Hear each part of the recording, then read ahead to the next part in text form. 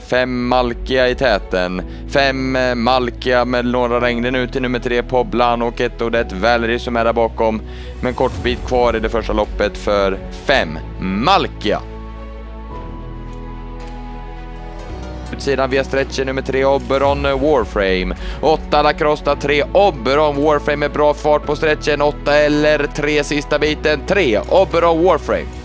Kagan Brick. Via stretchen även nummer 6 Winner Töll, 2 Def Steerex 9 J Kagan Brick som har bästa farten sista biten 9 J Kagan Brick. Här kommer i andra spår nummer 5 Sipseronada som också kopplar greppet på 6 Hideawine. Han är via stretchen 4 Ebba Kuse med mot mål Sipseronada. 2 Mayhem Mary 6 Burtas ankare vill inte ge slaget förlorat på utsidan. Kommer upp utvändigt. Här finns även fyra Champlain Vanja men avgör. Det gör 6 Burtas ankare.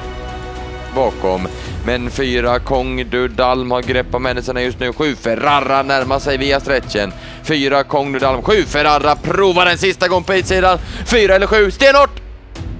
Kommer de på bred front, 8 Dolly Pageri 7 Tornado Dream en bit ut i banan längst in, 4 Compadre. De strider på bred front här den sista biten längst in, 4 Compadre.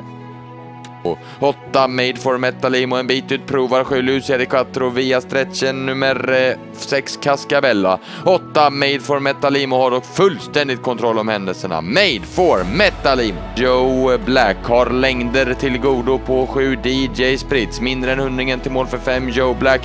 7 DJ Sprits försöker närma sig sista biten men det är 5 Joe Black. Cam Kagan provar via stretchen. Önas Prince eh, Kagan 100 meter kvar till mål och längden den är säkert till godo för Önas Prince.